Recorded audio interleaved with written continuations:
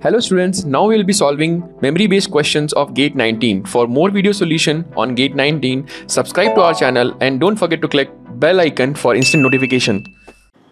Hello students, I am Mrigan Saurabh and in this video we are going to solve GATE question from civil engineering branch which came in forenoon session and this is related to the this question is related to the chemical kinetics from environmental subjects.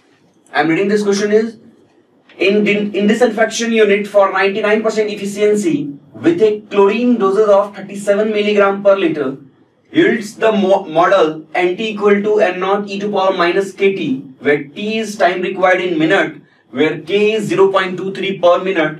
For a flow rate 36, 36 meter cube per hour if width equal to 1 meter if depth equal to 1.5 meter then calculate the length in meter so this question first you have to read and whatever the data you have you first note it down.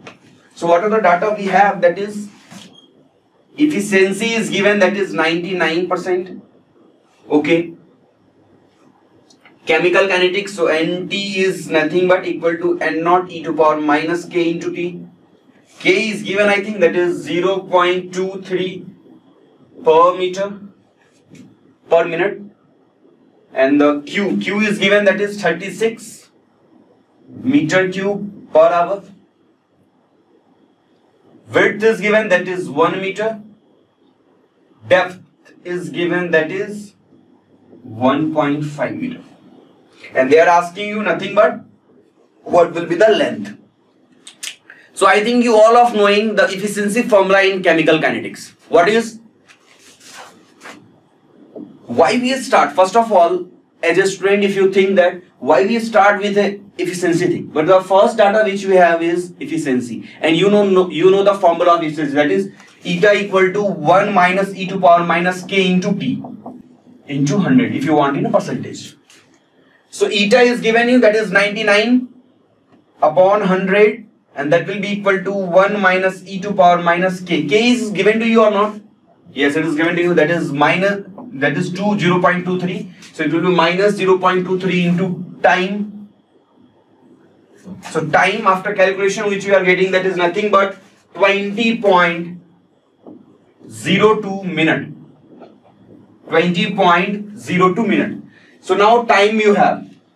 Now other things I'm doing. Now you have data like flow rate is 36 meter cube per hour. And you want time. So I think you all of are aware of this like q is nothing but a into v. A into v.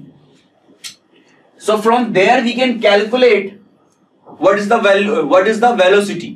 And if you know the velocity if you know the time then you can calculate the length part.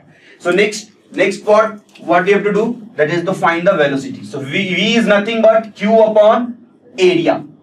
So VQ is in 36 meter cube per hour that you have to convert in 36 meter cube per minute because whatever the data we are getting that is time is in minute only. So I am converting it by dividing 60 36 by 60 because 1 hour equal to 60 minute. A is given or not? Yes, A is given in respect of width and depth. So width is 1 meter, depth is 1.5 meter. So 1 into 1.5 and the value of V which you are getting after calculation is nothing but 0.4 meter per second. Sorry, per minute. It, it will not mean per second, it will mean minute. Okay. So this value you got. Now the next thing which you have to do is find the length. To find the length, what length is nothing but velocity into time. Speed into distance equal to speed into time. So length you have to calculate. I'm running this part. I hope you note it down.